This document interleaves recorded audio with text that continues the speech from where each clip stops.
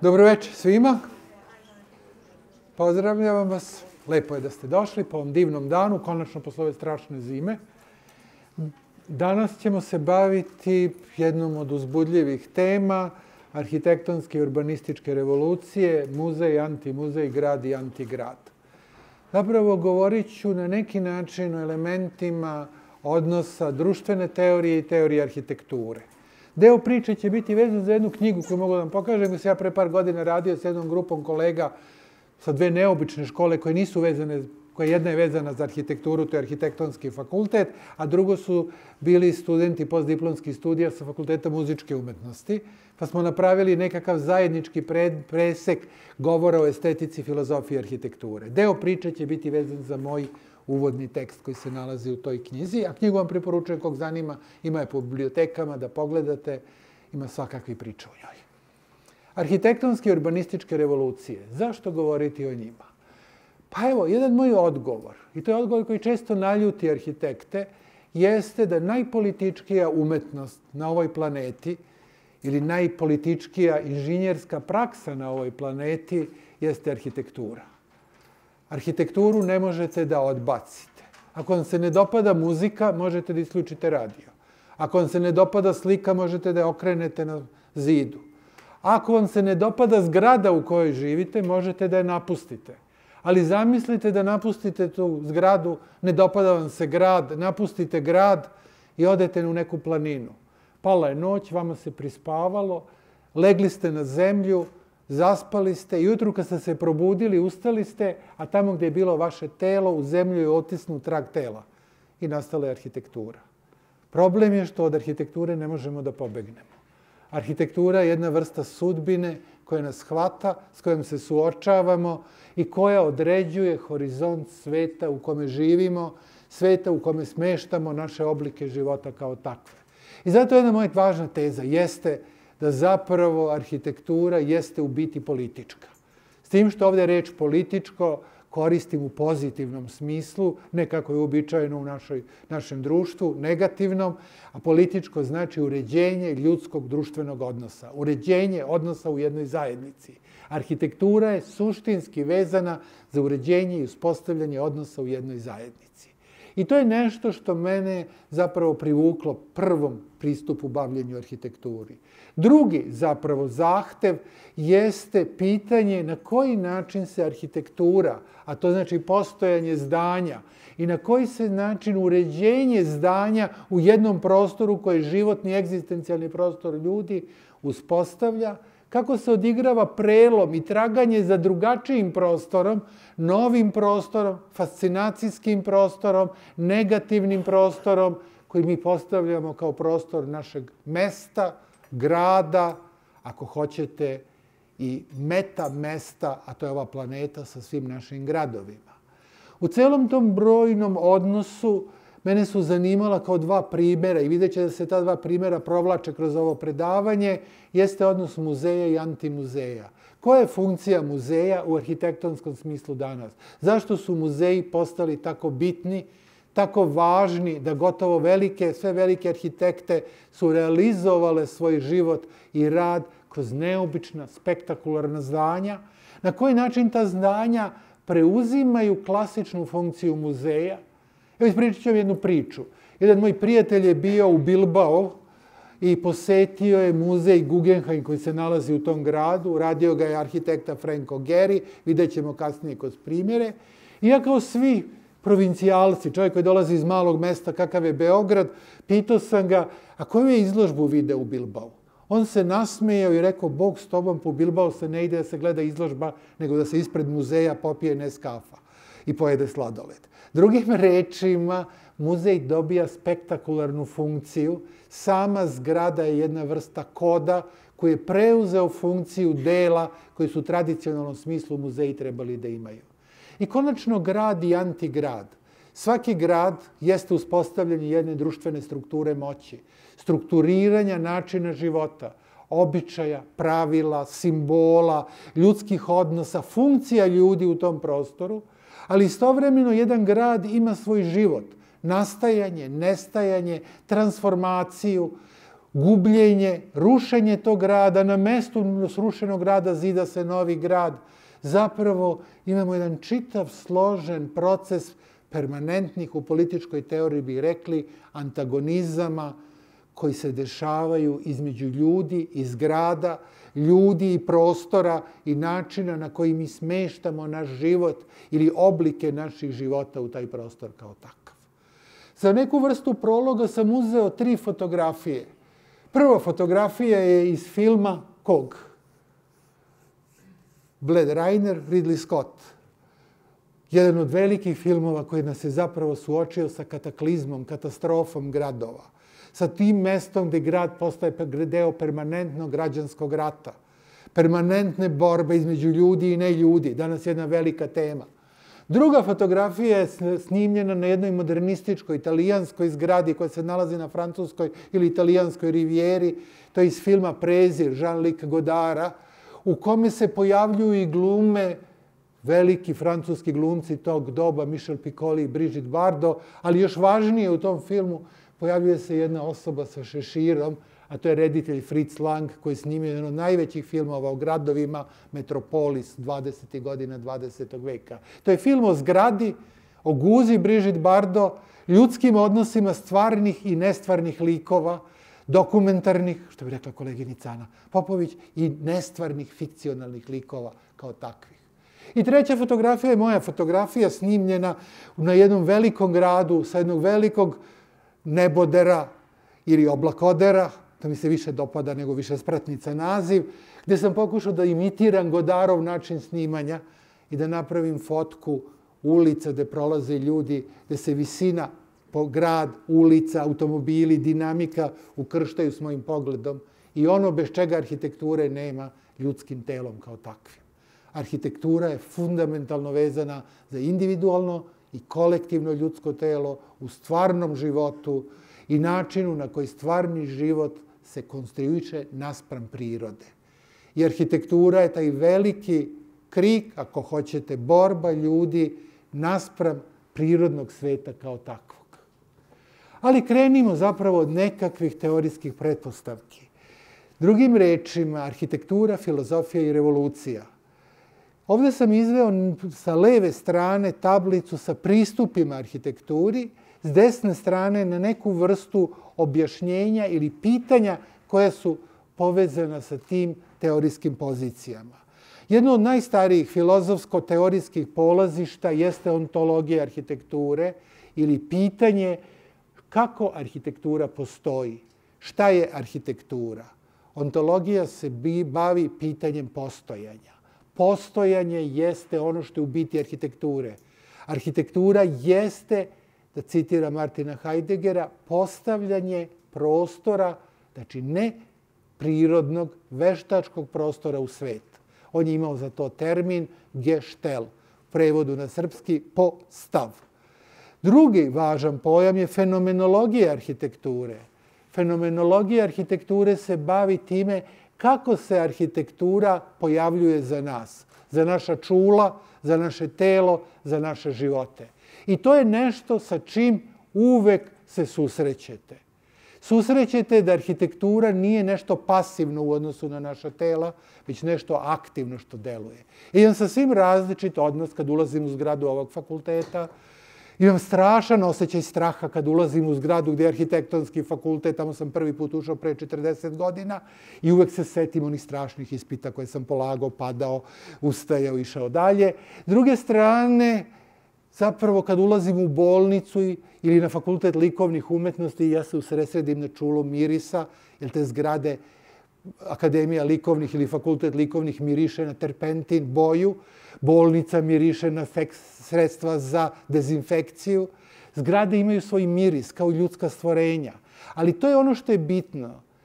Kako kaže Merlo Ponti, krećući se kroz jedan prostor, ja strukturiram sebe bivajući u tom prostoru. I ta interakcija između sobstva i prostora je jedna bitna odrednica fenomenologije arhitekture.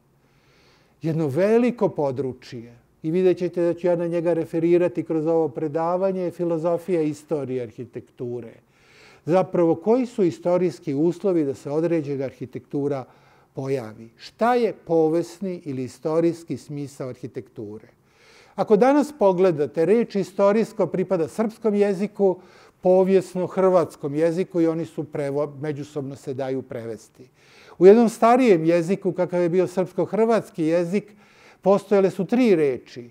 Istorijsko, povesno i povjesno. Istorijsko i povjesno su bili iste reči koje se međusobno prevode, istorija, odvijanje u vremenu, a povesno je bilo odvijanje u vremenu koje ima smisla. I drugim rečima, pitanje, bazično, veliko filozofsko pitanje jeste šta je smisao arhitekture u jednom vremenu? Ili, prevedeno u ovu terminologiju, šta je povesnost arhitekture? I svako vreme imalo svoj smisao.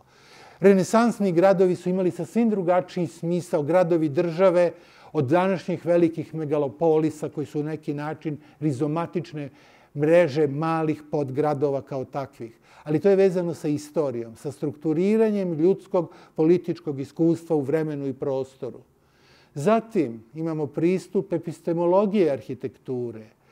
Šta je naše znanje o arhitekturi, što je pripada području teorije arhitekture, istorije arhitekture, arhitektonskog projektovanja, korišćenja arhitekture sa stanovišta raznih korisnika, ali ima još jedno važnije znanje. Kad ulazite u zgradu, kad ulazite u grad, šta je naše znanje o tom ulasku u grad, u zgradu, o zgradi i gradu kao takvom? Epistemologija se bavi tim šta mi možemo znati o arhitekturi. Možemo reći, bez da zapravo ovo predavanje moje će bi se baviti pre svega epistemološkim pitanjima. Zatim, da li je arhitektura jezik? Mnogi će skočiti i reći ne. Arhitektura su predmeti u svetu. Oni jesu objekti načinjeni. Oni nisu, moj odgovor će biti suprotan tom nisu, da arhitektura jeste način komunikacije da je to vrsta jezika. I to jezika u smislu razumevanja kako se gradi arhitektonsko delo, ali jezika kojim arhitektura govori o svom mestu u povesti, geografiji, ljudskim odnosima. Beogradu možete naći mnoge primetbe s arhitektonskog urbanističkog stanovišta, ali nešto što Beograd ima fascinantno za razliku od drugih gradova, da je taj grad pravio neki ludi ili pijani urbanista i arhitekta. Drugim rečima, u brojnim ulicama prošetajte Dorćolom i Gornjim i Donjim, prošetajte, prošetajte Neymarom, prošetajte ulicama paralelnim Vasinoj ulici i odjednom ćete vidjeti da četiri kuće koje stoje jedna pored druge govore različitim jezikom a taj jezik pripada različitim političkim sistemima, kulturalnim sistemima, društvenim aspektima, postoje različiti diskursi. Ja sam nekad u prošlosti voleo ulicu koja se zvala Bulevar revolucije, sad se zove Bulevar kralja Aleksandra, dok nije renovirana, jer jednostavno ste mogli da pratite slojeve arhitekture i slojeve politike kako se menjala kroz taj grad. Parteri su pripadali nekakvom početku 20. veka, trošne male uđerice na kojima su zidani prvi spratovi pred ili neposledno drugog svetskog rata, do zatim staklenih metalnih zgrada nakon tranzicijskog perioda raspada Jugoslavije. Vi ste mogli da čitate u slojevima, gotovo sa stanovišta savremenih teorija antropocene, kako grad funkcioniše i postoji kroz različite jezike i opštenja koje nudi kao takav. Ali za arhitekturu je važna još jedna filozofska teorija. Arhitekte, pre svega arhitekte, su se smrtno zaljubile u tu teoriju 80. godina, 90. Ona se povrata, vraćala, nestajala. To je odnos dekonstrukcije i arhitekture. Pojam dekonstrukcije je uveo francuski filozof alžirsko, jevrejsko, francuskog porekla Jacques Derrida. Sam pojam dekonstrukcije ne znači razaranje, razmontiranje, već znači razumevanje složenosti, višeznačnosti odnosa celine i elementa taj odnos celine i elementa i njegova nestabilnost je verovatno fascinirala arhitekte. Fascinirala ih je da se pitaju na koji način se zapravo jedan periferni element može dovesti u centar razumevanja, jedan centralni element doneti u periferiju. Šta znači da, na primer, da secesionistička arhitektura s prelaza 19. u 20. vek ima fascinaciju ornamentima. Zašto veliki majstori modernizma izbacuju ornament? Kako se ornament vraća u postmodernoj? Celo ovo kretanje je zapravo govor o tome da se primenjuje dekonstruktivistički princip. Vi imate jedan element koji u jednom arhitektonskom vremenu ili jednom trenutku arhitektonske istorije postaje centralni, u sledećem postaje marginalni. Dekonstrukcija se bavi odnosom centralnog i marginalnog kao takvog. Dekonstrukcija je postala izazov arhitektama. Oni su je veoma različito shvatali. Bernard Čumi dekonstrukciju shvatao doslovno na način Žaka Deride, s kojim je bio i blizak, kao veliki arhitekta, on je zapravo bavio se tim odnosom celine i detalja, relativizacijom odnosa u okviru arhitektonske strukture. Neki drugi, kao Franco Gehry, on je dekonstrukciju shvatao kao iskrivljenje vertikala, horizontala, centara simetrije. Jednostavno napustiti tu vrstu odnosa. Neki treći su pod dekonstrukcijom smatrali kombinovanje eklektično različitih kulturalnih modela i odjednom dobijete arhitektonskog monstruma. Imate klasicistički citat, imate modernistički citat, imate citat iz nekih van evropskih kultura uključen u to. I dobijate jednu kompleksnu, hibridnu, tekstualnu strukturu. Konačno, u savremenim teorijama iz poslednjih 20 godina bitan je odnos biopolitike i arhitekture. Ako postoji nešto što je biopolitička disciplina, to je arhitektura. Ona disciplinuje naša tela za život. Šta znači termin biopolitika? Pojam biopolitike je uveo francuski filozof Michel Foucault, revitalizovali su ga talijanski filozofi u 90. i 2000. godinama koji su pripadali kritičkoj neomarksističkoj misli, a nazvali su sebe biopolitičarima ili su ih tako nazvali popularni mediji, koji su smatrali da svako društvo ima tehnologije disciplinovanja, vaspitanja, kontrole, nadzora, kazne i nagrade za građane koji kroz tu vrstu biopolitičkih tehnika postaju građani jednog društva. I upravo arhitektura je ta koja nas disciplinuje, vaspitava, prilagođava određenom načinu života, shvatanju sobstvenog tela, sobstvenog odnosa sa drugim ljudima. Evo jedan banalan, pomalo bezobrazan primjer, ali jedan stari profesor mi je rekao, kad ispričate bezobrazne primjere, obično studenti zapamte, za razliku od drugih primjera. Ako posetite u Beogradu stanove koji su zidani, na primjer, na Novom Beogradu, tada je to bila novogradnja, kroz 60. 70. godine, naći ćete u kupatilima jedan predmet koji danas ne postoji u kupatilima ili većini kupatila, to je bide. Predmet za održavanje ženske higijene nakon seksualnog čina. Tada je to bio veliki emancipatorski predmet koji je bio ugrađen u svako kupatilo je reprezentovao seksualno oslobođenje, modernizaciju, kulturalno ponašanje. S tim što bide ima funkciju u društvu da se vi tuširate svaki treći dan. Danas, kada su zapravo promenjen odnos ljudi prema higijeni, higijena je postala svakodnevna praksa, jedna užasna situacija gde smo najdisciplinovaniji da se tuširamo jednom, dva, tri puta dnevno, zapravo bide se gubi iz kupatila, nepotrebni predmet, koji se ne zna šta da se radi. Takvih predmeta ćemo naći bezbroj. Naći ćemo zapravo situaciju. Zašto? Skoro sam gledao nekoliko švedskih filmova Napolju pada sneg, a svi koji su u kući hodaju bosi. Ja sam probao jedne zime da šetam bos po svojoj kući i dobio sam kijevicu odmah. Zašto? Zato što su to podovi koji se greju. Drugim rečima, biopolitika arhitekture je, deluje trivialna, ali ona suštinski utiče na naš odnos prema životu, ponašanju, obhođenju u svakodnevici. Ona je zato radikalna kulturalna praksa disciplinovanja i prilagođavanja ljudi svakodnevnom životu.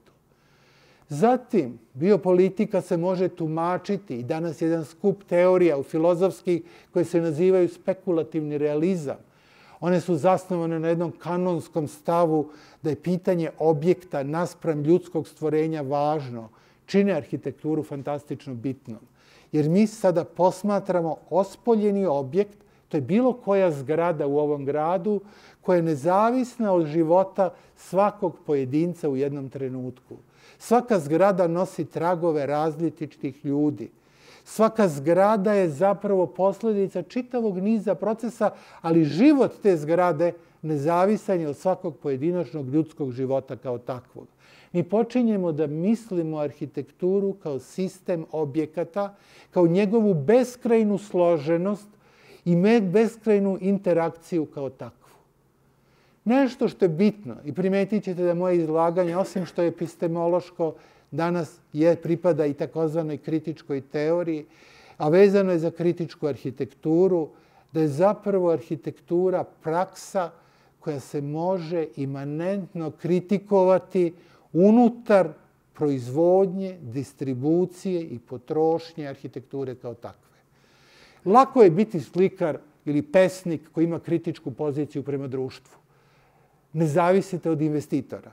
Kao arhitekta, gotovo je pitanje užasavajuće kako biti subverzivan kada zavisite od banaka, korporacija, privatnih naručioca i opet oni koji su uveli pojam kritička arhitektura smatraju da se u takvom sistemu mogu provocirati granice ukusa, granice funkcija, granice smisla zgadnje, zdanja koje se gradi kao takvo. I konačno imamo pojam revolucionarne arhitekture.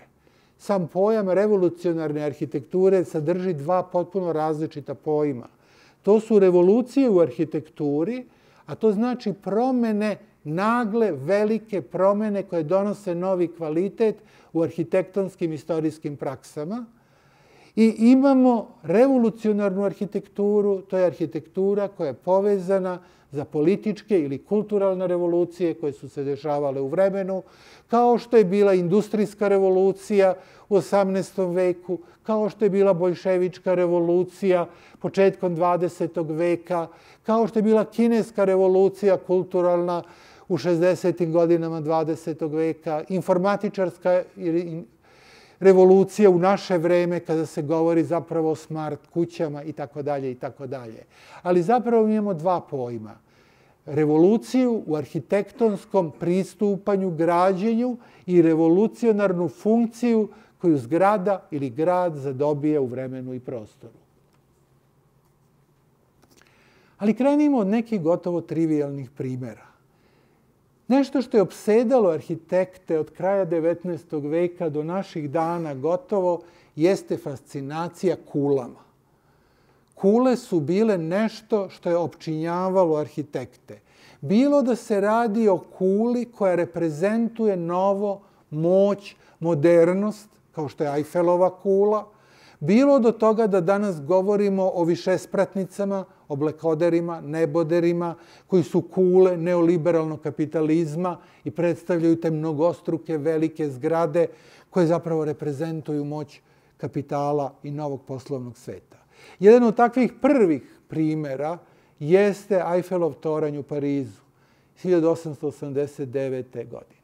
To je toranj koji je prađen zapravo za jednu od svetskih izložbi i on je imao ideološku funkciju, ideologija modernog, ideologija modernosti, ideologija savremenosti, ideologija tehnološkog nadvladavanja prirode ili doslovno u fenomenološkom smislu nadvladavanja tla.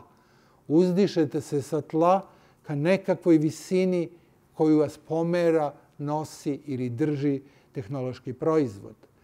Ovde ima nekoliko fotografija koje su meni bile zanimljive. Ovo je fotografija iz trenutka kada je građen Eiffelov toranj. Imamo zgradu završenog tornja od pre možda deseta godina i tri različite umetničke reakcije na ovu zgradu, što pokazuje potrebu u rečima Rolana Barta da se arhitektonska inovacija mitologizira. Da se stvori mit o tom modernom znaku koji napušta tlo i vodi nas u simboličku, ali i fizičku visinu. Jedno je slika francuskog postimpresioniste Georgesa Sera, koji je radio pointilističku sliku, to su one slike s tačkicama, razbijenog poteza koji stvaraju vibrirajuću, igrajuću sliku boje Eiffelove kule. Tu je fotografija iz jednog od filmova posvećenih Parizu, velikog modernističkog i avangardnog reditelja Rene Klera, ili jedno zaista remek delo kubizma Roberta Delanija, koji Pariz slika kroz različitu vizuelnu transformaciju, integraciju i dekonstrukciju Eiffelove kule u odnosu na gradsku arhitekturu kao takvu.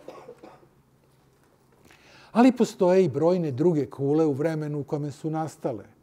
Erich Mendelssohn je radio Einsteinovu kulu 20. godina 20. veka. Kula koja je simbolizovala tu jednu od najvećih naučnih revolucija. Otkriće relativnosti, pitanje brzine svetlosti, odnos astronomskog i ljudskog zemaljskog tela.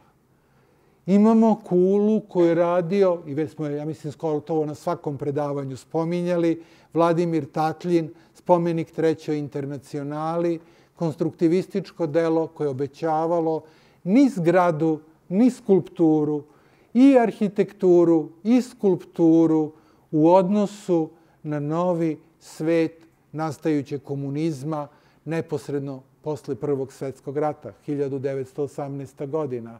Taj model neostvarive rotirajuće skulpture je bio simbol tog novog fascinantnog objekta.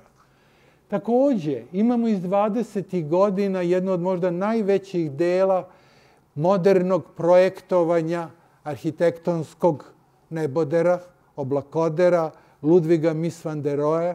To je model staklenog oblakodera koji je rađen za Berlin, za Friedrich Strasse, ali zapravo delo koje je bila ideja tog novog oblika koji će biti realizovan tek kad Mies van der Rohe uđe u američku industriju 30. godina 20. veka.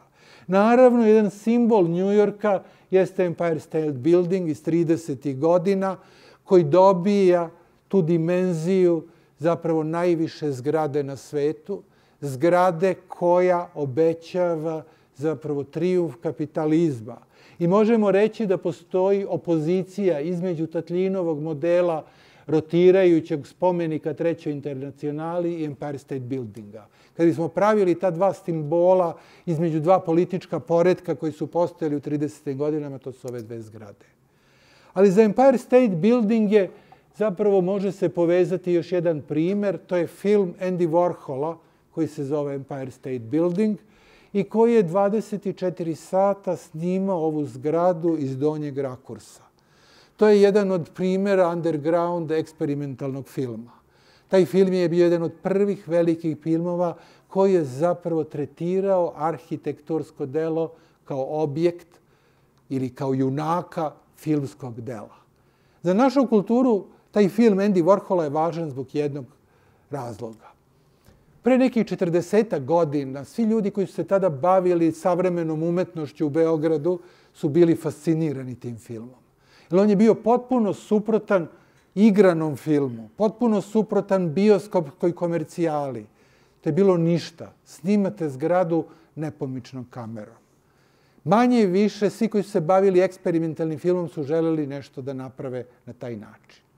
I jedan novosadski pesnik, konceptualni umetnik, Miroslav Mandić, je negde oko 70. godine objavio mali tekst, objavljen u mađarskom časopisu koji izlazi u Novom Sadu, u Simpozion, u kome je dao predlog da on slika 8 sati, ne 24 sata, Josipa Broza Tita, maršala Jugoslavije, u uniformi maršalskoj, iz onog rakursa iz koga je Warhol snimao Empire State Building.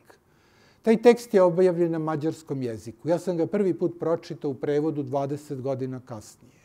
Ali Miroslav Mandić je uhapšen i osuđen na 8 meseci zatvora zbog koncepta tog filma, koji je zapravo od maršala Josipa Broza Tita pravi upravo ono što je za New York bio Empire State Building. Ali to govori o tom permanentnom kretanju značenja, ako hoćete, jezika i diskursa iz polja politike u polje filma, iz polja filma u polje arhitekture, iz života i politike u arhitekturu, umetnosti i život. Ali kule su nastavile kroz 20. vek da opsedaju brojne umetnike. Ja sam ovde izabrao tri kule koje pripadaju neoavangardi. Neoavangarda je ona umetnost koja je nastajala negde u 50. i 60. godinama 20. veka u tradiciji avangarde, a zalagala se zapravo za dematerializaciju umetničkog dela, za traganje za nečim što bi bila veštačka ili pokretna skulptura ili svetlosna skulptura. S jedne strane imamo ambijent i kulu koje je proizveo francusko-mađarski skulptor, kinetičar Nikolas Šefer. On je radio sa fenomenom skulptura koje pokreću, pokreće vetar. Delove te skulpture pokreće vetar. To su ova krilca ili lepeze koje ova skulptura ima. Ili radio je u duhu Lasla Moholi Nađa da skulptura složenog karaktera i dinamičnog kretanja menja svoje senke pokretom u odnosu na statičnu svetlost reflektora. Sličan primer u beogradskom kontekstu je uradio slovenačko-beogradski skulptor, jedan možda od najznačajnijih, a možda i jedini, luminokinetički umetnik koji je delovao u Beogradu, Koloma Novak. On je takođe projektovao skulpturu koja se pokreće snagom vetra, koja na neki način u svakom trenutku strujanja menja svoj izgled i objekt. Naspram njima, njujorski umetnik Dan Flavin je uradio, i on to je umetnik koji je radio permanentno sa fluorescentnim cevima. Fluorescentne cevi su bile njegovo sredstvo ili njegovo oružje izražavanja, je napravio model, simbolički svetlosni crtež Tatljinovog spomenika Trećoj internacionali. Ali kao što vidite, u sva tri primjera postoji to kretanje, prelamanje svetlosti, nestabilnost objekta, objekt je neka vrsta dinamične kule. To je ono o čemu je Taklin maštao, ali 1918. nije imao tehnologiju koja je to mogla da ostvari. Ali dalje od kula su išli u 30. godinama arhitekte, dizajneri, umetnici koji su radili zapravo sa fenomenom simboličkih političkih prostora koji obećavaju svim različite stvari. S jedne strane Albert Speer, koji je napravio svetlosnu kulu ili svetlosnu katedralu, što bi bio tačan prevod, koja je 30, razvijena više navrata od 34. do 38. godine. Prva verzija je bila na Nirberškom stadionu, poslednje verzije su bile po brojnim nemačkim gradovima, između ostalog Berlinu. To su bile velike svetlosne konstrukcije napravljene sa reflektorima. Evo ga ovde fotografija reflektora. To su vojni reflektori za osvetljavanje neba pri avionskim napadima. I ti oni su iskorišćeni za nešto što bi se nazvalo estetizacija političkog neba nacističke Nemačke.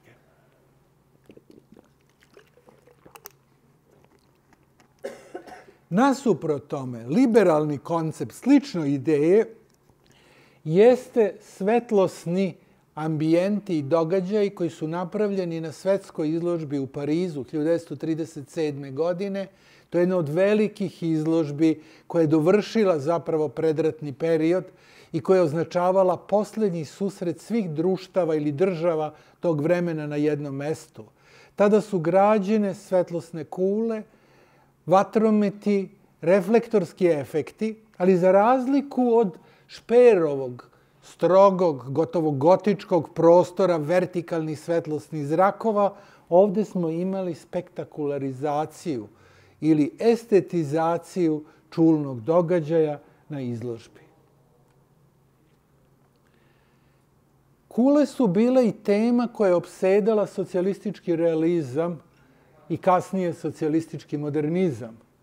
Jedan od prvih začetnika toga je poljsko-ruski umetnik, osnivač suprematističkog pokreta, one najradikalnije varijante abstraktnog slikarstva, Kazimir Maljević, koji je u 20. godinama projektovao niz gipsanih modela ili drvenih, koji su reprezentovali abstraktne oblike, ne predmetne oblike, ne mimetičke oblike.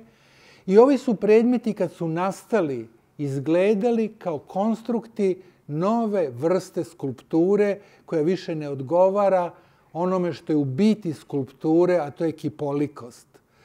Podsećanje na ljudsko telo. Ali tada ove skulpture i nisu ličile na zgrade. One su bile oblikovni efekat neobjektne umetnosti. Veoma brzo, u sledećoj deceniji, to znači kroz 30. godine 20. veka, zapravo dolazi do nastanka projekata u doba socijalističkog realizma ili staljinističke arhitekture, kada Boris Jofan projektuje ili radi nacrt zgrade Sovjeta, koja je rađena na identičnim principima skulptorskog Maljevićevog gesta, ali sada sprovedena na način slavljenja sovjetskog modela socijalizma i podizanja njegovog monumentalnog ateističkog hrama. Slično se može videti i sa zgradom nauke, kulture i umetnosti koja je poklon staljinističke vlade poljskom narodu koja je podignuta u Varšavi i koja je na simbolički način objašnjavala ili pokazivala moć novog socijalističkog poredka. Tu je zgrada zapravo imala taj geometrijski karakter. Pogledajte ove pravilne, stroge, vertikalne forme, kao kod Maljevića, ali te forme imaju jedan zadatak, da pokažu moć i tehnološki potencijal jednog novog društva.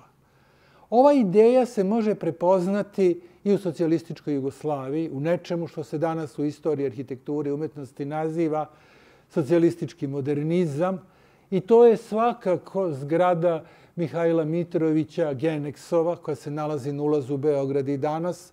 Neki autori danas to nazivaju brutalizmom u arhitekturi zbog količine betona koja je upotrebljena. Tradicionalno se zovu kapije Beograda ili kule Beograda, ali ove zgrade takođe pokazuju još jedan idealitet. Moć proizvodnje, značenja i sobstvenog reprezentovanja moći u doba socijalizma. Veoma eksplicitni primjer je i delo Mihajla Jankovića, to je zgrada socijalističkih organizacija u socijalističkoj Jugoslaviji, popularno nazvana CK zgrada, danas poslovni centar Ušće. Ovo je model te zgrade koji je napravljen, koja je urađena u tehnologiji tog vremena i koja je reprezentovala strukturalni, konceptualni model novog ustrojstva arhitektonskog prostora. Zamislite na ravnom, peskovitom, močvarnom novobeogradskom terenu podignuta je jedna zgrada koja pokazuje jedinstvo samoorganizovanih, ovo je bila iluzija, organizacija u socijalističkom poredku kao takvu. Još jedan primjer te trke za moćima, za ostvarivanjem i rezanjem prostora je svakako Avalski toranj, koji su radili arhitekta Uglješa Bogunović, Slobodan Janjić. Taj toranj je bio dugo simbol Beograda, simbol njegove modernosti, Vidjet ćete da brojni gradovi su takve tornjeve imali i na istoku i na zapadu.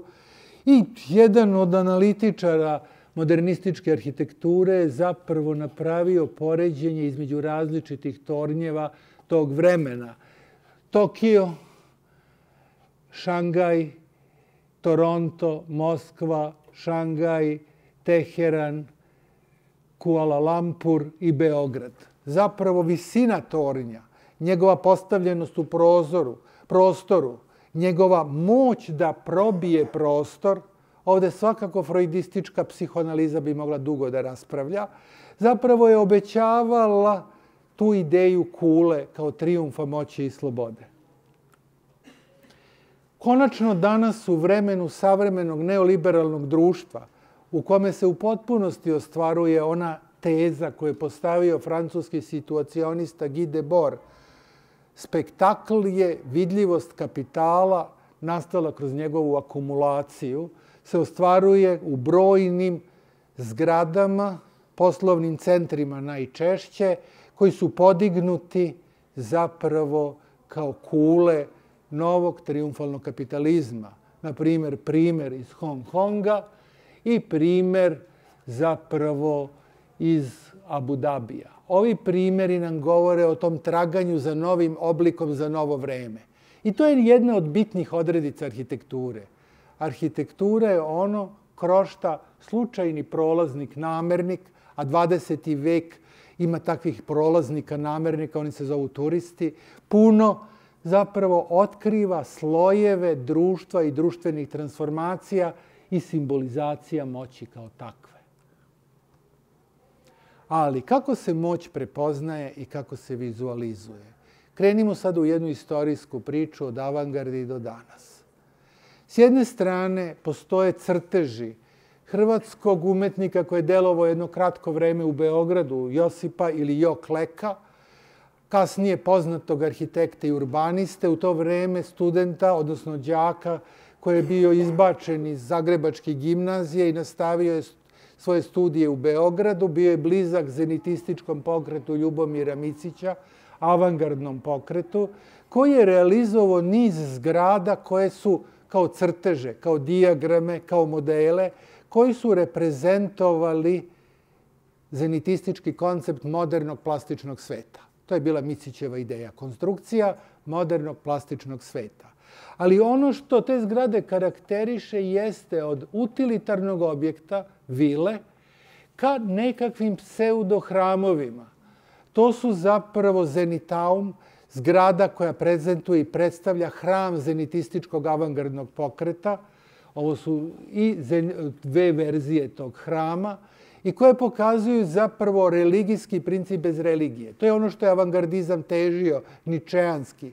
Kako izgleda duhovnost posle Boga, smrti Boga.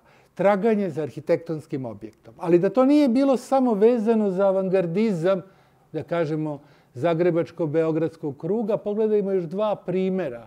Jedan primer je zapravo Getenaum, zgrada posvećena Geteu, odnosno mističkom razumevanju Getea, koji je projektovao mistički učitelj i, da kažemo, učenjak, da upotrebimo taj termin, ne naučnik, Rudolf Steiner, koji je osnov, kad je osnovao pokret koji se zove antropozofija, želeo da u Švajcarskoj podigne mesto koje će biti mesto rituala i performansa, odnosno religioznih i mističkih i meditativnih praksi.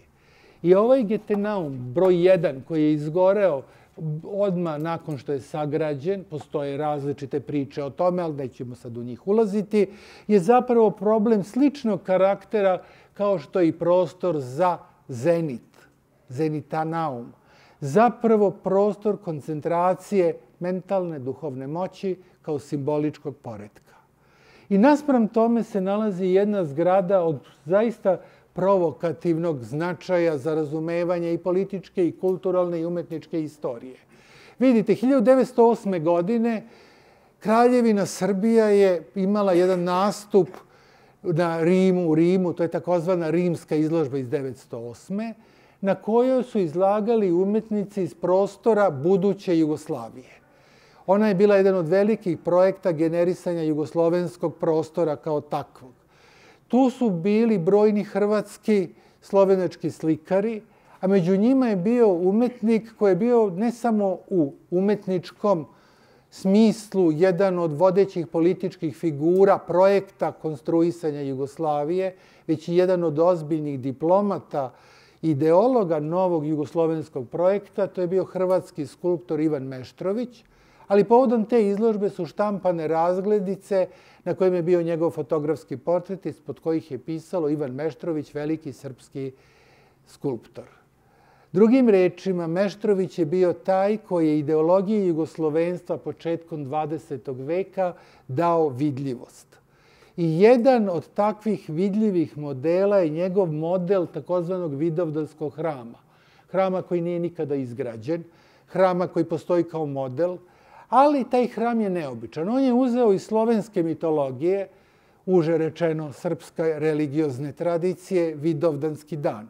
Ali je uzet još jedan moment, ideja grčkog hrama, grčkog platoa na kome se nalazi hram, na kome se okuplja zajednica i sebe uspostavlja kao novu demokratsku zajednicu i celinu.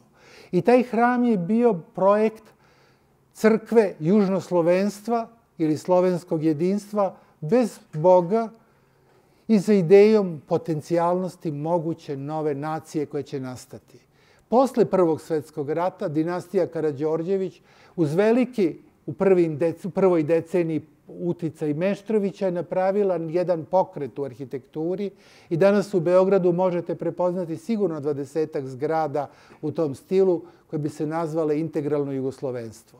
To su zgrade obično neoklasičnog izgleda, prepoznaćete element jugoslovenstva ili integralnog jugoslovenstva po tome što one imaju reljefe ili skulpture koje prikazuju žene ili muškarce koji rade na polju, kao plitke reljefe, duboke reljefe i kipove kao takve. Ali zapravo stvorena je jedna arhitektonska ideologija buduće nacije. Kolega Aleksandar Ignjatović je napisao knjigu koja se bavi zapravo ovim pitanjem na koji način je integralno jugoslovenstvo učestvovalo u konstituisanju i zatim gubljenju koncepta jugoslovenstva kao takvog. Ali da ti projekti postoje i u drugim prostorima, jedan primer koji prethodi primerima u Srbiji i Jugoslaviji je bio svakako projekt skulptorskog rada Antonija Santelija, jednog od velikih utopijskih arhitekata italijanskog futurizma. Italijanski futurizam nastaje oko 1908. godine u Italiji, osniva ga pesnik Marinetti i taj pokret objedinjuje pesnički, teatarski, muzički, arhitektonski impuls u stvaranju modernog, netradicionalnog, mehaničkog sveta kao takvog. I Antonio St. Elija radi u svojim projektima ideju ili model elektrane, hidroelektrane. Radio je nešto što će tek kasnije u jednom drugom kontekstu realizovati veliki francuski arhitekta Courbizije, zgradu grad. Zgrada grad je zapravo bio idealitet modernizma. Napraviti zgradu u kojoj može živeti hiljadu ljudi zapravo jedno malo mesto pretvorite u objekt stanovanja. Naravno, to nikad nije realizovano. Ali taj projekt je bio ideja da moderni svet će sebe realizovati i transcendirati kroz arhitektonsko zdanje kao takvo. Danas kad se gledaju i čitaju istorije arhitekture, istorije umetnosti, može se reći da se ova vrsta arhitekture naziva eksplicitno ili papirnata sa izvesnom zlom namerom da je nemoguće realizovati ili bez zle naze, namere utopijska arhitektura. Arhitektura koja projektuje budućnost u datom vremenu još nemoguće arhitekture kao takve. Jedan od možda najvećih primjera modernističkog eksperimenta jeste zgrada Bauhausa, o kome smo govorili na samom početku ovog kursa koji je radio nemački arhitekta Walter Gropius, koja je izrađena u Desau i otvorena 1928. godine. Ja sam ovde nju iskoristio da zapravo napravimo vidljivu razliku između neoklasične arhitekture 19. veka i moderne arhitekture početka 20. veka. Zapravo, delo Gottfrieda na, uh, Neuer Atera koji je izradio Minhensku akademiju, projekta Minhenske akademije likovnih umetnosti, je tipično delo neoklasičnog modela. I njegova suprotnost, ili polemički, ili revolucionarni napad je Gropiusova zgrada. Po čemu se ove dve zgrade primarno razlikuju? Po frontalnosti i nepostojanju frontalnosti.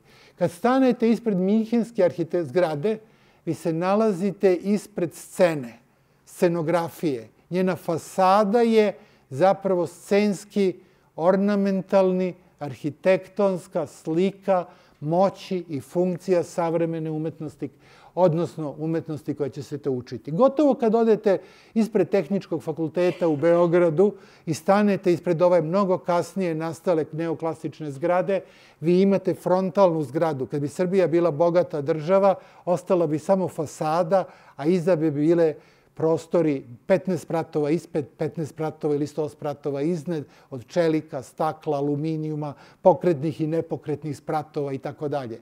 A fasada bi zapravo skrivala. Fasada je zapravo nešto što je u neoklasicizmu nudilo sliku arhitektonskog dela, ali zapravo šta se dešava iza fasade je bilo nevidljivo. To je pripadalo jednom drugom narativu, narativu političke, naučne, kulturalne organizacije moći. Naprotiv, Gropius to razbija. On pravi zgradu koja nema fasadu ili ima veliki broj umnoženih fasada koje vi ne možete videti s jedne tačke. I gledate tu zgradu sa svake različite tačke, vi vidite različitu zgradu. Nisku zgradu, visoku zgradu, zgradu srednjih, zgradnju prelomljenu. Zapravo vi morate izvesti, kako je napisala jedna istoričarka umetnosti, perceptivni performans kretanja oko i kroz ovaj prostor da biste ga videli. Naprotiv, ovde vi stojite ispred. Ispred vas je ono sve što treba da vidite, ono što ne vidite i ne treba da vidite. Drugim rečima, to je bio veliki i možda najrevolucionarniji u formalnom smislu arhitektonski obrt. Obrt od zgrade kao performativnog prostora u odnosu na zgradu kao ponuđenu scensku sliku.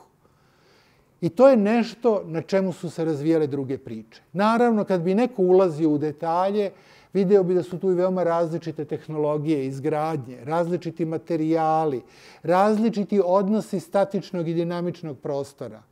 Ali ovaj ideološki moment frontalne fasade i nepostojanje fasade, zahtev da korisni gledalac se kreće kroz prostor, bio je na neki način suštinski aspekt ovog dela.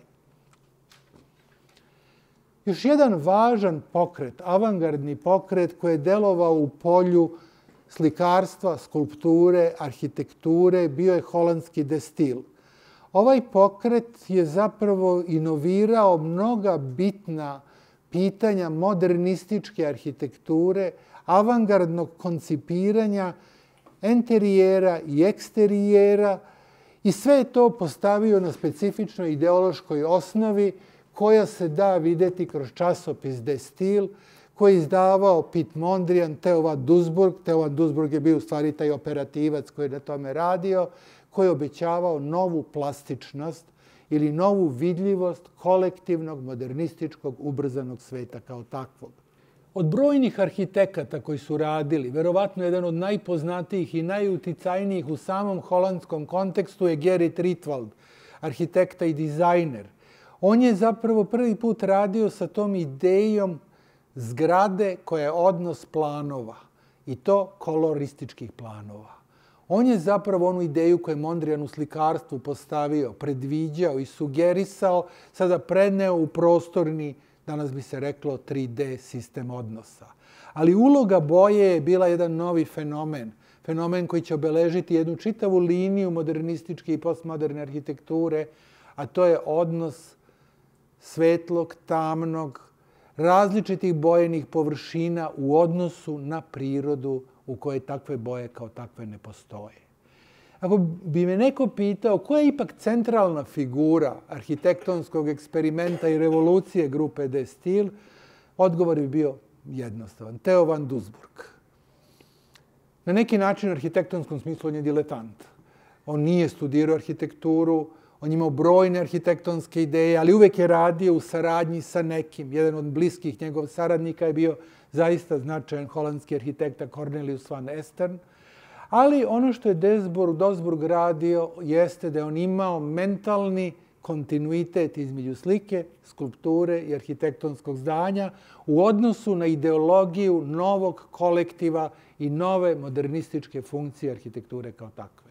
I Theo van Duisburg je tu ideju odnosa arhitektonskog dela i novog kolektiviteta postavio kao bitan odnos koji dan danas postoji u holandskoj arhitekturi, pitanje na koji način arhitektura funkcioniše u lokalnim zajednicama, do svog direktnog konfrontiranja s Bauhausom, koji je imao tu ideju neupitne modernističkog ubrzanja sa svojim pitanjem na koji način arhitektura oblikuje stvarni svakodnevni život kao takav. U Sovjetskom savezu, u doba postrevolucionarnom periodu, brojne arhitekte zapravo rade na formalnim eksperimentima i traganju za novim prostorom. Ilija Časnik, to je ova, ovaj crtež koji se nalazi ovde, zapravo proizlazi iz Maljeviće suprematističke škole I on pokušava da uradi ono što je Maljević uradio u slikarstvu sa arhitektonskim projektom. Dobiti plastički neobjektni predmet, prostor. Taj prostor više nije u mimetičkoj funkciji, taj prostor jeste jedna vrsta konceptualnog modela. Nasuprot njemu, Jakov Černikov je jedan od pro, pre, predstavnika socrealističke arhitekture i staljinističkog doba, koji je projektovao ono što danas možete vidjeti u savremenim ruskim filmovima kad se prikazuju napuštena industrijska postrojenja. On je projektovao taj budući svet totalne industrializacije. U vreme Staljinove uprave 30. godina bila je jedna formula. Elektrifikacija plus industrializacija jeste komunizam. I ta ideja je zapravo u 80. godinama doživjela poraz. Ta velika, teška industrija je nestala. Pogledajte u Srbiji, velika, teška industrija kao što je bila Goša, 12.000 radnika u 80. godinama, nula radnika danas. Lola Ribar, 10.000 radnika u 80. godinama, 120 radnika danas i da ne nabrajamo druga postrojenja. Ove fabrike sovjetskog sveta koje su imale utopistički, gotovo kosmički model lebdećih prostora su bile simbol tog novog društva koje je imalo svoju istoriju, svoj uspon i pad. A to obećanje, žudnja za novim prostorom, za arhitekturom koja će označiti zaista novi svet, a to je novi svet, je onaj svet kad napustimo ovu planetu. To je onaj svet kad počnemo da osvajamo kosmos. Mesec, Mars, sateliti, druge galaksije. Jedna fantastična vizija koja je obsedala ruske vizionare i naučnike još od vremena Petra Velikog do današnjih dana je bila vezana zapravo za kosmički grad. Jedan od autora koji je projektovao kosmički grad je Gustav Klucis, jedan od baltičkih umetnika, fotografa, dizajnera, koji je napravio ovaj model, žičani mali model, mada izgleda monumentalno na ovoj fotografiji, koji predstavlja satelitski grad. Grad koji kruži oko planete Zemlje. Grad koji zapravo obećava postojanje i život izvan ovog prostora kao takvog. U praktičnoj arhitekturi zapravo izrazi eksperimenta su preneseni u takozvanu konstruktivističku arhitekturu. Sovjetska konstruktivistička arhitektura je bila nepoželjno dete sovjetske bolševičke revolucije. To su bile stotinak arhitekata koji su se školovali na avangardnim školama, koji su završili škole, škole su zatvorene, njihovi učitelji su ili pobegli na zapad ili završili u gulazima u Sibiru, koji su jednostavno nisu mogli da prave ono što su naučili u školi. I neki od njih su to uspeli da naprave u progonstvu. Ima jedan grad na granici Sibira i evropskog dela Rusije, zove se Jekatarinburg ili Jekatarinburg, u kome su bili prognati konstruktivističke arhitekte i danas je tamo sačuvano, zamrznuto oko 20 zdanja konstruktivističke arhitekture. Ovo je jedan kotel iz 30. godina koji je rađen u tom duhu. Nasuprot tome postoji jedan od tih utopijskih papirnatih modela koje je radio El Lisicki i to su zapravo neboderi horizontalni.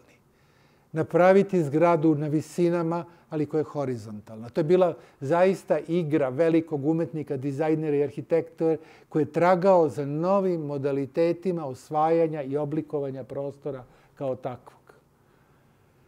Konačno, sva ova priča sa avangardisti nas dovodi do tri velika majstora koji određuju identitet moderne arhitekture, modernog arhitektonskog, revolucionarnog dosega, a to su u Francuskoj Le Corbusier, Walter Gropius u Nemačkoj i Wright u Sjedinim američkim državama.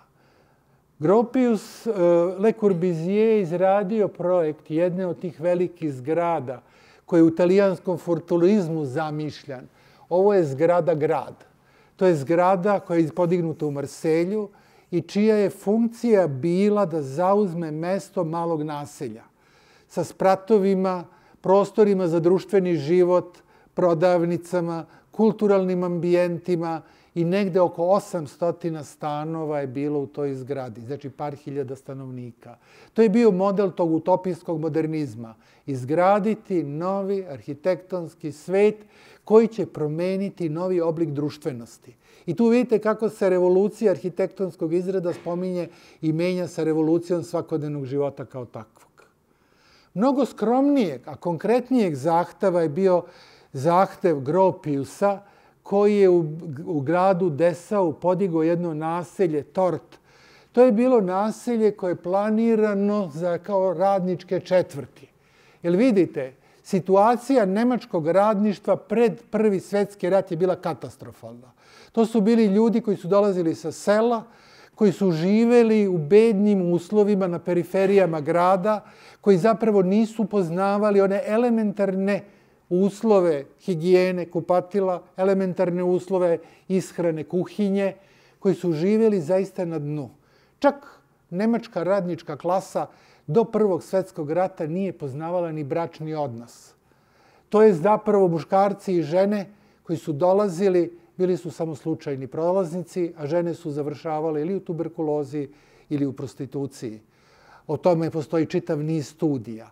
Nakon Prvog svetskog rata, sa, sa socijaldemokratskim zahtevima koji su postavili, a Gropius je jedan od glasogovornika nemačke socijaldemokratije neposredno posle Prvog svetskog rata, jeste standardizovanje uslova života za građane i to pre svega za radničku klasu Nemačke. A to je značilo izgradu higijenskih naselja, izgradu prostora koji zadovoljavaju sve kriterijume nekakvog stabilnog elementarnog života kao takvog. Ono što je karakteristično i za Gropiusa i za Le Corbusier jeste da oni imaju sličan formalni metod rešavanja rada. On je blizak i verovatno vuče korene iz destilove estetike modularnosti. A to znači jedan prostor je zasnovan na repeticiji modula koji se ponavljaju u beskraj stvarajući simetrične pravilne prostore koji se ispunjavaju ljudskim životom. Američki arhitekta Wright je zapravo sa svojom najpoznatijom delom vila na vodopadu ili vila sa vodom zapravo imao potpuno ekscentrični stav. To je delo, vila koja je napravljena u sintezi urbanog i prirodnog ambijenta. On je nešto kasnije tu ideju prebacio u jedan urbanistički projekt u kome je deo Njujorka želeo da realizuje kao odnos prirode i high-tech tog vremena u realizaciji arhitektonskih objekata. Ali ova tri majstora su zapravo postavili nešto što je ključno, a to je ideologija modernističke arhitekture. Kada se ubude u vremenu postmoderne, to su 70. godine, Jenks, jedan od zastupnika i glasogovornika postmoderne arhitekture, obračunavao sa modernističkom arhitekturom, on će da govori o ovoj trojici autora. I on će govoriti o njima na način koji ne odgovara sa svim onome što su oni uradili, ali bio je dobar impuls za nastanak nove arhitektonske škole, postmodernističke. A to je značilo da je o njima govorio kao autorima koji isključivo slede racionalni princip modularnosti, S druge strane, ne uzimaju u obzir ambijent, već prirodni ambijent prilagođavaju svojoj konceptualnoj poetičkoj arhitektonskoj ideji i zapravo industrijski koncept izgradnje nadređuju stvarnom odnosu prema ekološkom, istorijskom i kulturalnom prostoru kao tako. Što na neki način ne odgovara izvesnim delima Rajta. Ali oni su postavljeni kao kanonski primer onoga što će se nazvati modernistička arhitektura, što će negde kroz 30. ka 50. godinama postati internacionalni stil kao takav. Ta fascinacija jeste jedna od tih fascinacija, jeste konstrukcija grada. Jedan od takvih gradova jeste Novi Beograd. O tome postoje brojne danas studije, detaljne, precizne studije, ali zapravo meni je ovde bitna ta ideja, ideja da treba na praznom prostoru, kakav je bio novobeogradski teren, močvaran, peskovit teren, uspostaviti i konstruisati novi grad za novo vreme, novu državu, novi ljudski poredak kao takav. Jedan od ranih primjera je slika Bože Ilića, jednog od najznačajnijih srpskih socrealističkih slikara, sondiranje terena na Novom Beogradu iz 1948. godine, gde on govori zapravo o toj ulozi kolektivnog rada mladih ljudi, takozvane radne akcije, i savladavanje pristornog prostora koji treba isušiti, učiniti terenom, evo ova fotografija dokumentarna iz tog doba, napravljena naspram s druge strane reke, da bi se podigao novi grad, ovo je jedna od maketa tog doba. Ovde se takođe vidi rukovodstvo komunističke partije Jugoslavije sa Josipom Brozom Titom, koje posmatra zapravo model tog novog nastajućeg grada kao takvog. U celom tom kompleksu jedno isto je delo od izuzetnog provokativnog značaja. To je arhitektonsko zdanje Ivana Antića, Ivanke Raspopović. To je Muzej savremene umetnosti u Beogradu. Muzej savremene umetnosti u Beogradu je građevina koja je par excellence modernistički koncept, modernistička kristalizovana ideologija ili vidljivost napravljenog, proizvedenog, artificijalnog prostora koji kao da je s kosmičkim brodom spušten u prazan, peskoviti, priobalni prostor na ušću Save u Dunav ili Dunava u Savu. Šalim se.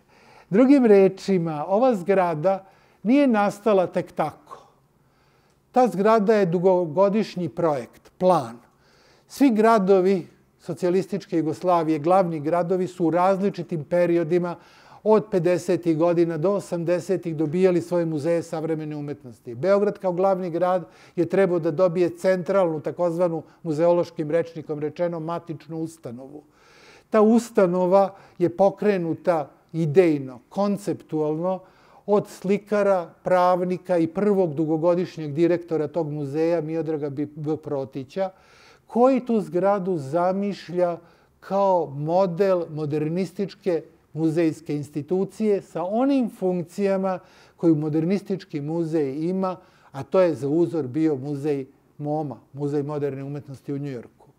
I to nije bila slučajna, divergentna e, akcija nekoga ko radi protiv socijalističkog sistema. On radi u ime socijalističkog sistema, zato mnogi govore o socijalističkom modernizmu kao dominantnoj kulturalnoj umetničkoj paradigmi tog vremena.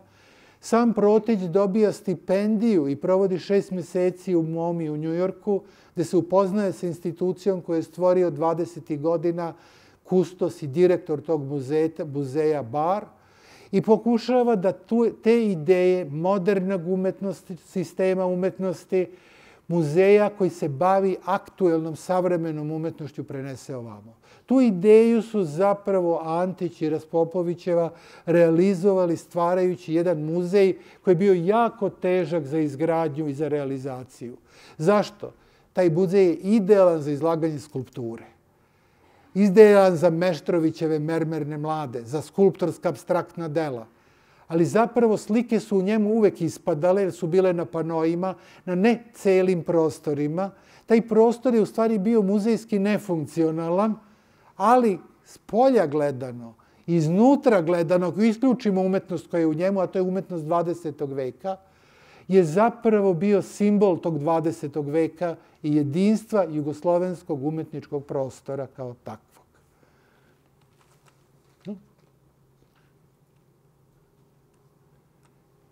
Traženje novog grada možemo pronaći kod brojnih autora. Jedan od arhitekata koji je povezan sa, sa situacionističkim pokretom u Francuskoj bio je zapravo Konstant, holandski arhitekta, jedan od prototipnih, namernih i ciljnih arhitekata koji je radio sa utopijskom arhitekturom. Papirnata arhitektura za njega nije bila kazna da ne može da realizuje svoje ideje, On nije želeo da svoje ideje uradi drugačije sem kao projekte. S druge strane, u to vreme neke, neke od njegovih ideja, kao što je grad na stubovima koji se nalazi izvan površine tla, bila je gotovo tehnološki ne, nije mogla da se realizuje. Ali on je radio na tom fenomenu da zadatak arhitekte jeste da sprovede kritiku temeljnih kanonskih principa modernističke arhitekture, obećavajući novi društveni poredak i odnos prema ambijentu, urbanističkoj psihologiji i to je jedno polje koje je veoma važno, gotovo zaboravljeno, situacionisti su se s njim bavili, način na koji prostor urbanistički utiče na našu psihu i našu psihičku konstituciju u svakodnevici. On je naravno dao ime Novi Vavilon, nazivu svojih projekata, obećavajući taj novi integrativni grad. Sa druge strane okeana, njegova pandam u eksperimentu i traganju sa novim arhitektonskim rešenjima bio je Buckminster Fuller. Buckminster Fuller je jedna od možda najuzbudljivijih figura arhitekte, utopiste, revolucionara, neoavangardiste umetnosti 20. veka. Sam zapravo nikada nije diplomirao arhitektonski fakultet. Nikada nije dobio licencu, tačnije, dobio je licencu nekoliko godina pre njegove smrti da potpisuje projekte. A prve nuklearne elektrane u Sjedinim državama je on projektovao. On je projektovao taj novi sistem ekonomičnih gradova. Gradova koji su posvećeni igri i ludizmu postavio jedan čitav niz konstruktivnih principa minimalnog prostora sa maksimalnom artikulacijom prostornih elemenata. Čak i u jednom od svojih projekata postavio ideju budućeg ekološki zaštićenog grada sa kupolom. To je onaj grad u kome ćemo mi živeti ako stvari krenu sa ekologijom kako sad trenutno stoji u narednih deseta godina. Da se zaštitimo od zagrevanja, izduvnih gasova, zagađenja i tako dalje. Buckminster Fuller je zapravo projektovao jedan novi svet, svet koji je trebao da prevlada modernost. On nije postmoderni arhitekta u smislu svojih ideja. On je modernista, jer veruje u napredak. Ali arhitekta koji je modernistički koncept arhitekture doveo do kritičkog potencijala koji zahteva ludistički princip, a to znači da je prostor vezan za igrivost u svakodnevnom životu. Život nije samo rad, već osvajanje prostora kroz kreativno činjenje, a ne potrošačko uživanje u spektaklu.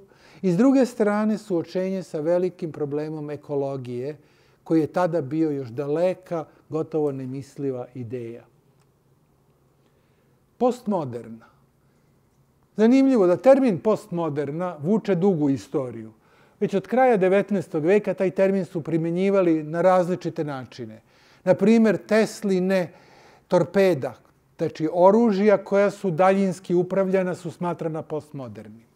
Povratak prirodi u nemačkoj kulturi 20. godina, nudizmu, plesu, životu na prirodan način, vegetarijanstvu, orijentalnim kultovima je smatran postmodernim ali zapravo postmoderna kao stil, kao pravac, postaje tek u 70. godinama kada arhitektonska industrija prihvata koncept kritike modernističkog funkcionalizma, utilitarizma i kako je Jenks naglašavao, što mislim da nije tačno, ali on je to naglašavao, odnosa prema aktuelnom istorijsko-prirodnom prostoru gde se zgrada zida, odnosno gradi.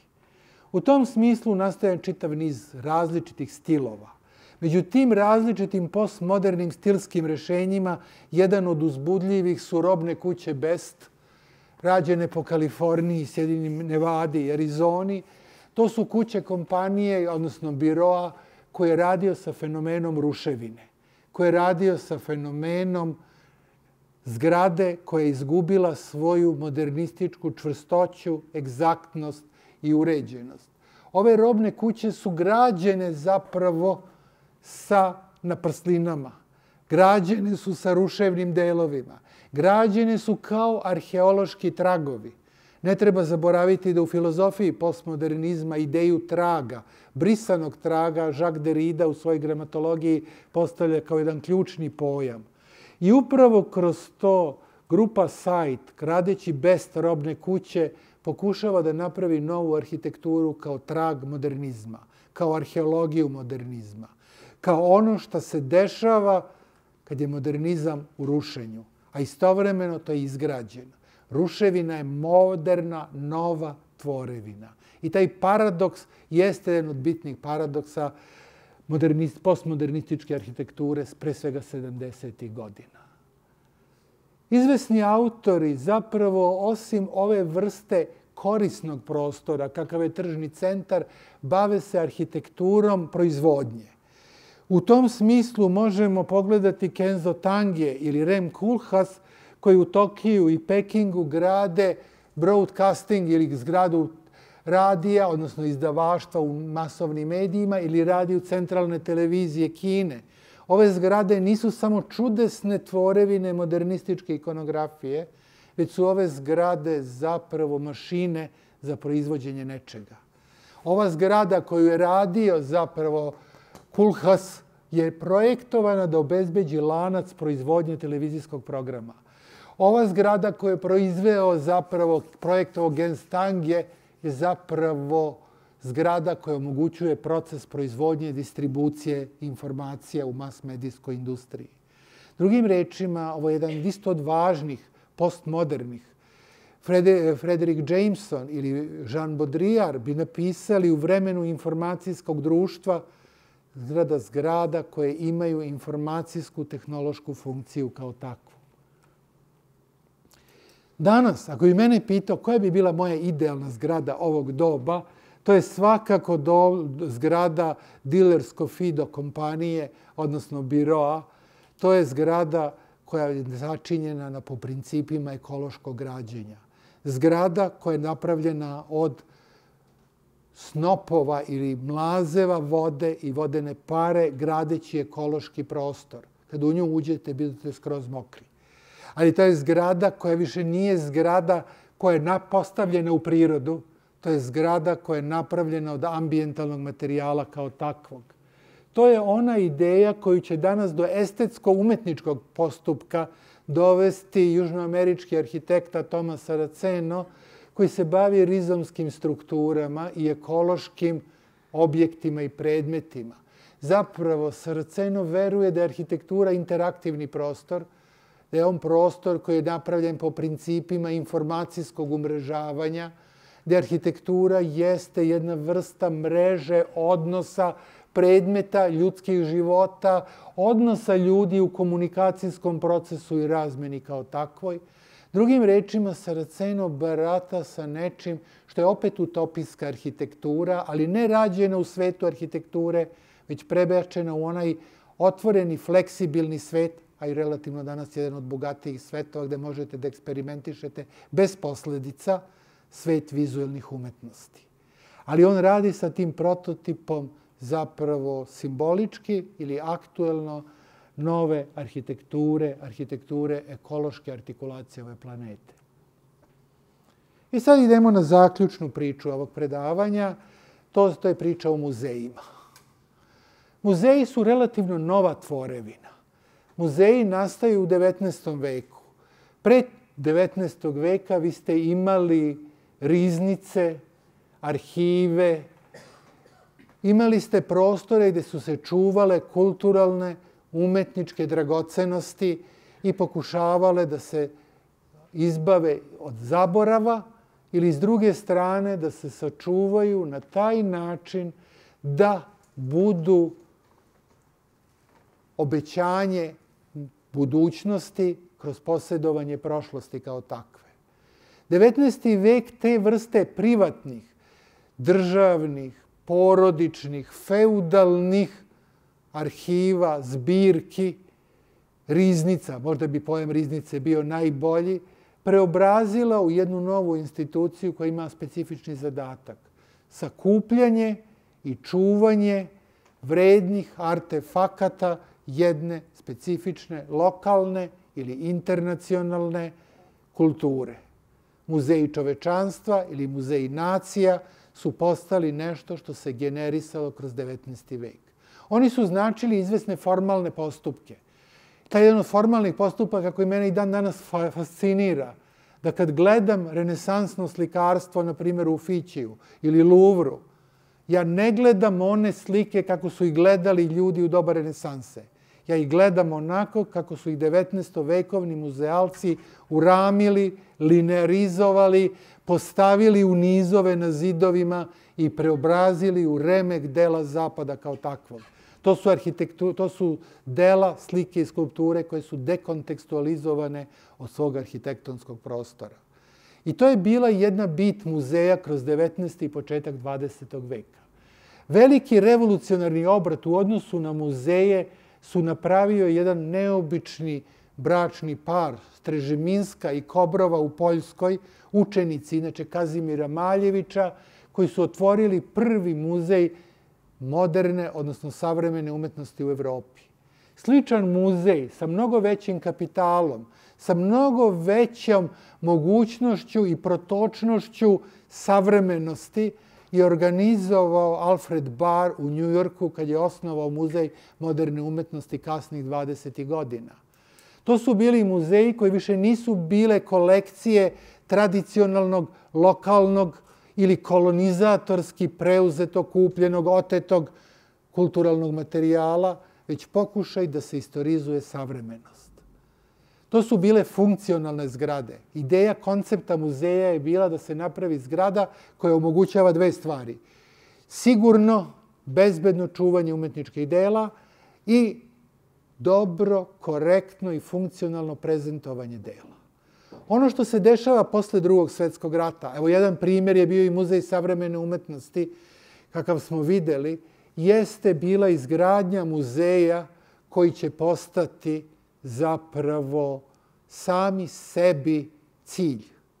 To ne znači da će dela iz njih nestati, ali taj novi muzej je postajao delo koje zapravo postaje pojavnost arhitekture koja je nevidljiva u utilitarnom svakodnevnom životu. Vidite, arhitekte su imali jedan ozbiljan problem. Ako ste želeli revolucionisati arhitekturu, morali ste da izađete izvan arhitekture i da radite projekte, modele, crteže, projekte, ili ste mogli da, re, da, ris, da reskirate, da nešto napravite i da više nikada u životu ništa ne napravite. Ono što je zapravo mesto gde su arhitekte mogle da grade slobodno, bile su svetske izložbe, gde su im države davale mogućnost izgradnje objekata koje su trebale da pokažu ekspanzivnu moć svake od nacionalnih država i svetske izložbe koje se održavaju od 19. kroz 20. vek su mesta možda najuzbudljivijih arhitektonskih eksperimenata i inovacija. I drugo polje u kome se odigravala ova priča su muzejske zgrade, odnosno operske i pozorišne zgrade. Ovi prostori su postali prostori eksperimenta i traganja za novim arhitekturom, gde se princip utilitarnosti podređuje principu eksperimentalne inovativnosti. Jedan od takvih prvih muzeja je svakako delo Guggenheim muzeja u Njujorku, Frank Lloyd Wrighta, i to je ta okrugla spiralna zgrada koja je napravljena kao kroz tok gledanja. Vi se penjete polako po spiralnoj kosoj ravni prateći izložbu ili postavku muzeja. Zanimljivo da je ovaj muzej iskoristio umetnik koga smo već danas pomenuli, Dan Flevin, koji je postavio u toj instituciji kroz središnji deo, šuplji deo muzeja, vertikalnu skulpturu od neonskih sve cevi. Tako da ste dobili dva skulptorska prostora. Prostor unutar muzeja – koja je zasnovana na vertikalnom svetlećem zidu i spoljašnji svetlosni prostor, lumino skulpturu nastalu od arhitekture sa svetlošću koja probija. Jedan takođe od značajnih arhitektonskih eksperimenata je Renzo Pijanijev i Richard Rogersov i još brojnih drugih arhitekata koji su radili na ovom zdanju, centar Georges Pompidou, popularno nazvan Bobur, Zgrada koja je napravila jedan takođe inovativni, gotovo paradigmatski prelom. Unutrašnjost zgrade je izbačena na spoljašnjost zgrade. Zapravo, hodnici, liftovi, konstruktivni elementi nisu sakriveni iza fasade, oni su postali fasada, postali su spoljašnjost. Zgrada je zapravo pokazala svoje tkivo. To tkivo jeste bilo nešto što nas je uvelo u novi perceptivni doživljaj, skoro dramatično strašan, kao što je Gropiusova zgrada Bauhausa u Desau. Kad kažem strašan, mislim uzbudljiv. Drugim rečima, jedan takođe od značajnih primjera dekonstruktivističke arhitekture. formalističkog čitanja deridinih spisa o dekonstrukciji, destabilizaciji značenja, jeste Vitra Design muzej iz 89. koje je projektovao Frank O'Gary. Ovaj veliki američki arhitekta je zapravo uzeo jedan princip koji će kasnije razvijati na drugim muzejskim zdanjima, a to je da ne postoji ni jedan stabilni, ni jedan simetrični, ni jedan kontrolisani element. Izgleda kao da je sve u stanju poremećaja, izmeštanja elemenata u odnosu na celinu. Taj projektantski zahtev i statički i kompoziciono je bio izazov modernističkom racionalizmu kao takvom. Svakako jedno od njegovih velikih remek dela jeste muzej u Bilbao, koji je realizovao kasnih 90. godina, jedna metalna građevina, mnogi kažu metalna riba koja je bačena na površinu zemlje, nešto što i liči između zaista ribe, kosmičkog broda ili nekakvog dela koje ne možemo baš identifikovati koja mu je funkcija. Ali ovo delo je društveno, politički izuzetno važno. Zašto? Grad Bilbao je bio grad u, u Španiji koji je bio osiromašio kroz vreme terorizma i baskijskog separatizma. Grad koji je imao svoj vrhunac u doba pozne secesije, kasnije napuštan, zapušten, veliki broj stanovnika se iselio iz ovog grada, izgledao je grad da odumire. Podizanje muzeja, kako je jedan od španskih levičara rekao, parama španskog naroda i američkim softverom Guggenheim kompanije, je značio da je podignut jedan muzej koji u jednom trenutku izgledao potpuno besmislen, u gradu koji nema svoj muzejski okvir za savremenu i to najsavremeniju umetnost, skupu umetnost, elitnu umetnost. Istovremeno podizanje tog muzeja revitalizovalo taj grad. On je došao negde na 2 do 3 miliona godišnje, zavisi od godina, posetilaca grada. To je značilo podizanje nove infrastrukture trgovina, hotela, transporta i odjednom jedno mesto na kraju sveta, na visini iznad mora, izvan zapravo in the middle of the nowhere, postavljeno od svetskih centara umetnosti. Što pokazuje da umetnost u datom ekonomsko-političkom sistemu ekspanzivnog kapitalizma postaje važan element osvajanja integracije prostora kao takvog. Naravno, delo Louis Bourgeois, ovaj strašni pauk je na neki način obećanje nekakve opasnosti. I tu opasnost nikad ne treba zaboraviti kada tehnologija postane totalno ekspanzivna. Ono što se dešava u poslednjih dve decenije jeste ekspanzija novih muzeja. I to ne samo u evropskom, već van evropskom kontekstu. Geri radi Guggenheim u Abu Dhabiju 2006. godine. Takođe jedno tipično dekonstruktivističko delo, nedecentriranih prostora. Ono što se dešava sa Ming Pejovom piramidom staklenom u Luvru jeste drugi pristup naspram dekonstruktivističkom, a to je suočenje tradicionalnog arhitektonskog prostora sa novim konstrukcionalnim tehnološkim prostorom. Revitalizacija tradicionalnog kulturalnog prostora. Jedno od čuda u, u samom muzeološkom arhitektonskom prostoru jeste nešto što je gotovo trivialni arhitektonski zahvat, jeste renoviranje energetske turbinskog prostora za proizvodnju električne energije u Londonu, koji je pretvoren u jedan od najmoćnijih, najskupljih muzeja na svetu, Tate Modern. To je zapravo revitalizacija industrijskog prostora, što je postala jedna odlika brojnih savremenih intervencija u istorijskom modernističkom tkivu industrijskih prostora i njihovom pretvaranju u kulturalne prostore, prostore za izlaganje i postavljanje umetnosti. Nasuprot tom renoviranom novi deo Tate Moderne je jedna od neobičnih kula, koja je s jedne strane zaista kula u simbolizovanju novog, moćnog, stvarajućeg, ali jeste prostor koji treba da promeni funkciju muzeja. Pre par godina sam bio na jednom predavanju koje je držao tadašnji direktor Tate Moderne. I on je rekao, tada je puna sala umetnika, rekao mi je, dragi moji umetnici, treba da prestanete da radite i sledeće četiri godine treba da maštate. posle četiri godine počnete nešto da pravite. To kad je izrekao direktor jednog najvećih muzeja, delovalo je kao izazov. Delovalo je i kao konfuzija, kao infuzija, kao prokušaj da se stopira nešto što oni te moraju da istorizuju i da postave u vremenski prostorni deo. Ali, nakon toga od zahteva da zapravo mi koji dolazimo iz malih prostora za trenutak stanemo, on je ponudio novu zgradu koja je imala veoma specifičnu funkciju. Vidite, Tate Modern je revitalizovana zgrada u jednom od napuštenih siromašnih radničkih četvrti Londona, na obali Temze. Podizanjem tog muzeja cena tog kvarta je skočila. Tu su počeli da se zidaju zgrade sa skupim apartmanima, počele su da se zidaju zgrade u kojima se nalaze fancy arhitektonski biroji, dizajnerski biroji i IT biroji. Znači one najprotežnije industrije. Odjednom taj kraj je postao živ. Toliko živ da su došli do sudskih procesa.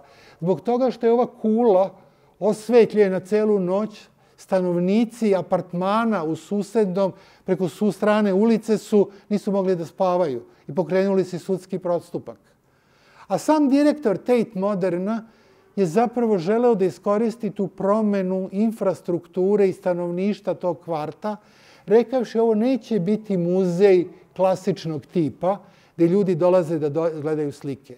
To je muzej koji je predviđen da zaposlenici, nekad bi rekli činovnici, radnici, koji rade u IT industriji, arhitektonskim birojima, dizajnerskim birojima, novim poslovnim centrima, u vreme pauze za ručak ili posle posla, dolaze u ovu zgradu da ručaju, da se druže na kafu ili piće posle posla, a oko njih će biti najveća dela umetnosti 20. i 21. veka ne kao dela za kontemplaciju estetski vrednih komada, ne dela za edukaciju, izvođenje nacionalnog britanskog ili britanskog kolonijalnog identiteta, već prostor za društveni život, prostor u kome će se zapravo odigravati život poslovnih ljudi. I to je bio jedna od ideja transformacije poslovnog, odnosno muzejskog prostora u neoliberalnom kontekstu i njegovom revolucionisanju svakodnevnog života. U ovoj priči jedna od velikih autora koja je vezana za Deridinu dekonstrukciju je Zaha Hadid, jedna od arhitektica koja je radila u domenu zapravo novog prostora. Bio sam pre nekih mesec dana u Nikozi, na Kipru, gde se podiže jedna čitava četvrt između parka, građevine, kulturalnog centra. Niste sigurni šta vidite. Liči na park, a nije park. Liči, ima funkciju kulturnog centra, ali ima odlike parka. A i park i kulturni centar su postavljeni u središtu starog grada. Drugim rečima, pojedini e, nikozici su jako ljutiti na tu građevinu. Zaha Hadid nije više među živima. Ona je brend njeno delo realizuju oni koji vode njene kompanije. Ali zapravo ceo postupak, ceo proces je bio zapravo reartikulacija životnog savremenog poslovnog sveta. Jedno od takvih primera je svakako e, Dong Demun Design Plaza u Seulu, otvorena 2014. godine. Evo ovde se nalazi gledana s polja, ovde gledana iznutra koja stvara jedan prostor koji nije ni muzej, ni trgovinski centar, ni poslovni centar, a istovremeno je sve to kao takvo. Svakako, među tim brojevnim muzejima danas strašnu funkciju igraju kineski muzeji u Hong Kongu, e, Pekingu, koji su zapravo deo međunarodnih arhitektonskih biroa, onoga što bi se reklo globalnog neoliberalnog arhitektonskog projektovanja, zasnovani na rekonstrukciji ili izgradnji novog prostora. Naprimer, taj Kvun centar nasleđa i umetnosti u Hong Kongu jeste centar koji je nastao preobražen policijske stanice kao takve. Ali zapravo taj odnos starog, novog, policijskog i nepolicijskog, komunističkog i nekomunističkog, kapitalističkog i antikapitalističkog ulazi u diskurs savremenog kineske arhitekture. Jedan od velikih neoliberalnih projekata je svakako Victoria Albert muzej, podignut u Dundiju, u Britaniji, u provinciji, Kengo Kuma ga je projektovao, veliki nasukani brod, istovremeno zgrada dekonstruktivističkog modela koja obećava muzej primenjenih umetnosti i dizajna. Svakako Louvre u Abu Dhabiju je jedna od popularnih zgrada koja se gotovo našla u svim medijima i govori o toj dominaciji muzejskog prostora koji više nije bitan kao muzej. I nasuprot ovoj fascinaciji high-techom moramo se suočiti sa ruševinama, sa napuštenjima. Jedna odlika modernih gradova jeste rušenje gradskih četvrti. Jedna odlika modernih gradova je napuštanje četvrti u kojima žive siromašni i preobražavanjem u skupe četvrti. Dva umetnika koje su anticipirala ovaj model zapravo transformacije modernog grada jesu Gordon Mata Clark i Robert Smithson.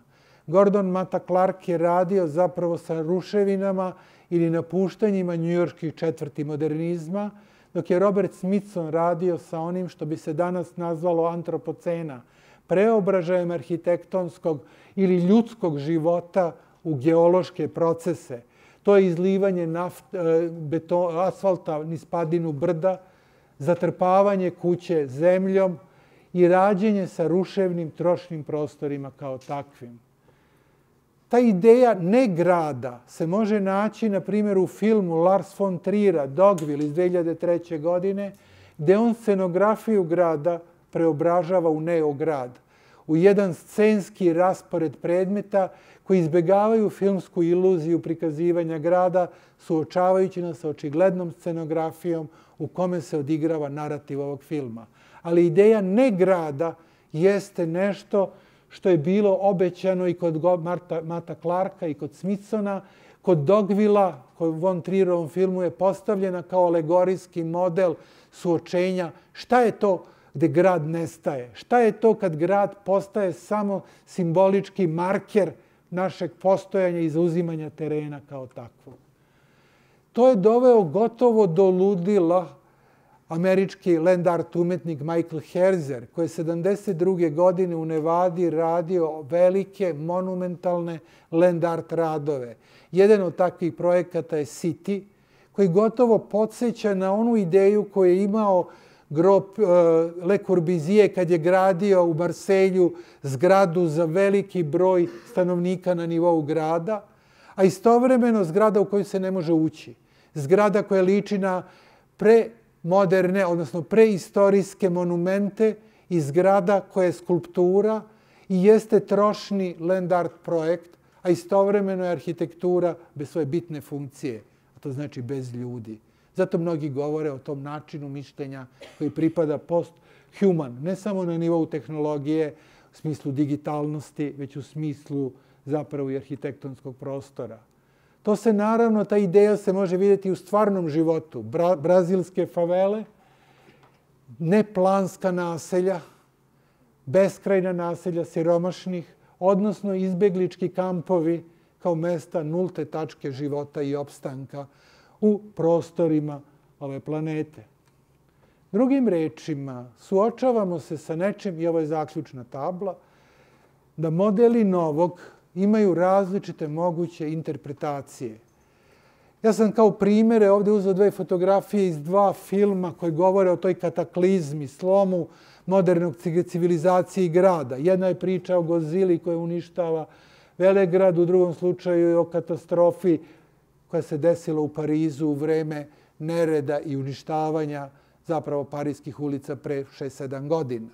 Ali svi ovi elementi nas suočavaju da Na način Valtera Benjamina možemo da kažemo da ideja progresa, arhitektura u biti je vođena uvek idejom progresa, je ima svoju cenu. Ali šta znači progres? Kako se on može ostvariti? Jedan od prvih elemenata koji ćete naći u istoriji 20. arhitekture, to je eksperiment. Eksperimentisati sa prostorom, sa materijalima, još ono dramatičnije, što arhitekte nikad neće priznati da rade sa ljudskim odnosima i ljudskim životom. Predikcija kroz utopijske projekte predviđati i obećavati novu, novi razvoj životnog prostora i ljudskih odnosa.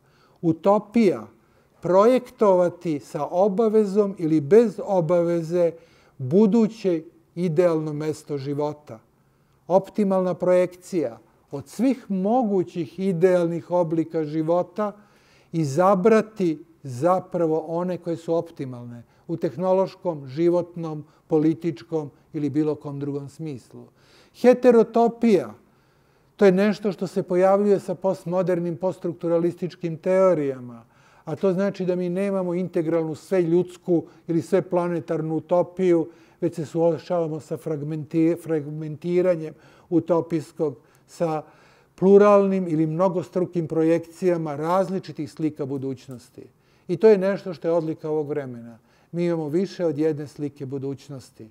Mi imamo katastrofičku i optimističku, sivu i zelenu, crnu i metalnu. Različite projekcije su u biti heterotopije i one obećavaju tu neizvesnost. I konačno imamo one autore, pre svega koji su pripadaju, da kažemo, umetničkoj intervenciji, a to je ideja antiutopije. A to znači kritika projekta, kritika projekcije budućnosti, suočenje sa krizom, katastrofom i uništenjem. Zapravo ovaj kontinuitet između eksperimenta, predikcije, utopije, optimalne projekcije, heterotopije i antiutopije obećava horizont onoga što sam ja nazvao revolucije u arhitekturi kao takvoj. I ovo je literatura. Hvala na pažnji.